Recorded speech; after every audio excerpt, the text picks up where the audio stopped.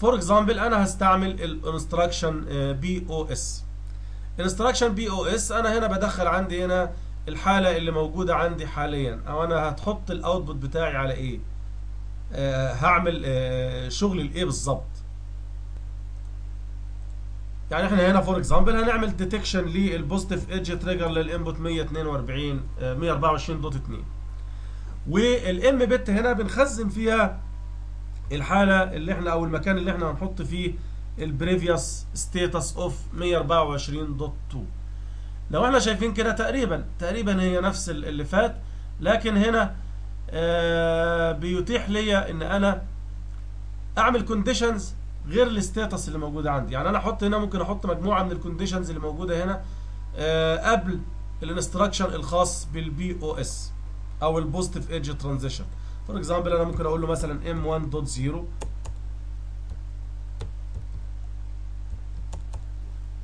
وعندي هنا output لل block اللي هو برضو بيبقى عبارة عن impulse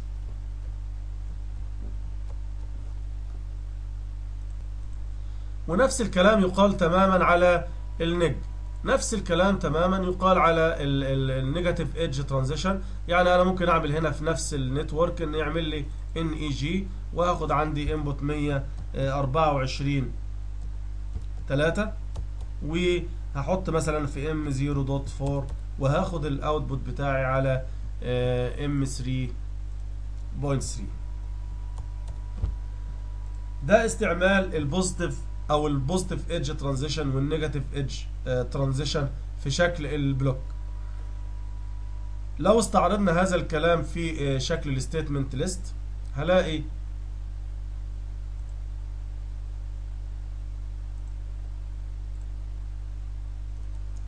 زي ما إحنا شايفين عندنا لو جينا نحول هذا الكلام إلى ال statement list هلاقي هو نفس ال instruction تماما اللي هو ال FP وال FN طبعا عملية الأقواس دي إحنا لسه هنتكلم عليها إن شاء الله. إنما عملية الأقواس دي في ال statement list هي عشان خاطر تديني الشكل المثالي القابل للتحويل.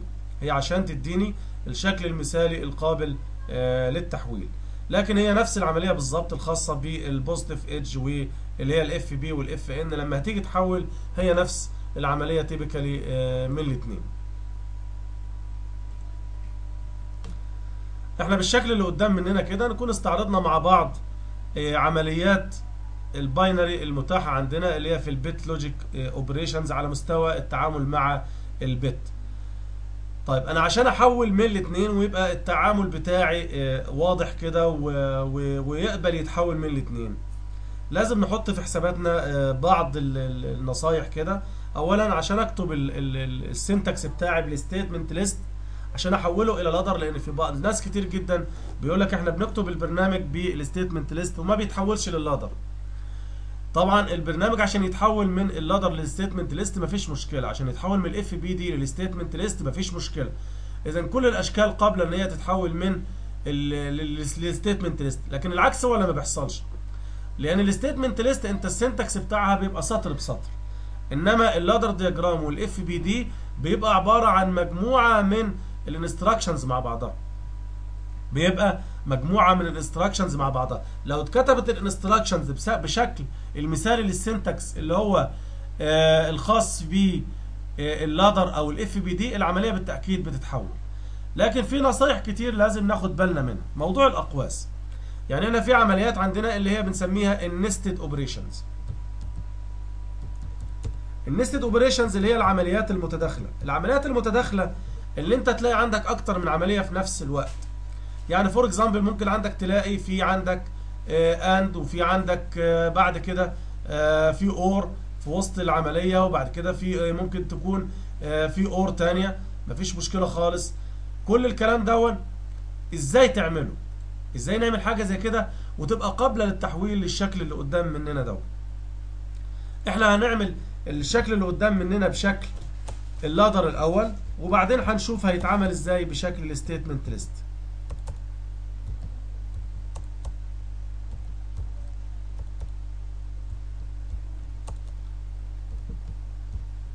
for example الشكل اللي قدام مننا دون زي ما قلنا معمول بال ladder. لو جيت أحوله لل statement list هلاقيه سهل جدا التحويل. لكن لاحظ إن بقى عندنا فيه أقواس. الأقواس دي اللي هي عملية التداخل ما بين العمليات بين ال- ال- العمليات وبعضها اللي هي بتحكم التداخل دوت هنرجع تاني لل ladder diagram وهنشوف العمليات اللي قدام مننا. أنا أول حاجة عندي عمليات AND كم عملية AND واحد اتنين تلاتة أربع عمليات AND وفي عمليتين OR لكن في تداخل بين العمليات. يعني أنا في عملية ORing هنا بتتم وبعدها قبلها عملية AND طب نشوف نعمل الكلام دون في network جديدة ونشوف هيتحول إزاي. أنا هعمل ال instruction بال statement list وأبدأ أشوف في ال network الجديدة اللي موجودة عندي. for example هقول له AND input 1.0 وبعدين هقول له AND وهفتح قوس. هفتح قوس ليه؟ أنا هفتح قوس هنا لأن هبدأ أعمل عملية تانية اللي هي عملية ال OR. يعني أنا كاني هنا بشوف عملية جديدة خالص اللي هي OR بين اتنين. هقول له for example OR input 1.1 وهقول له OR تاني input 1.2 وهقول له OR input 1.3 وهقفل القوس على الحالة اللي أنا عليها. وبعد كده هقول له ANDing مع input 1.4 وبعدين هقول له ANDing وافتح قوس. وبعدين أقول له OR ل input 1.5 OR input 1.6 OR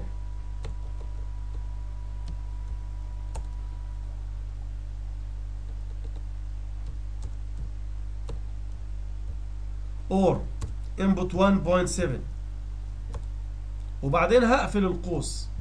وبعدين هقول له AND input 2.0 and input 2.1 assigned ل q 2.0 أنا كده كتبت ال instruction بتاعي بال statement list هذا الشكل الطبيعي إن هو قابل للتحويل لل ladder diagram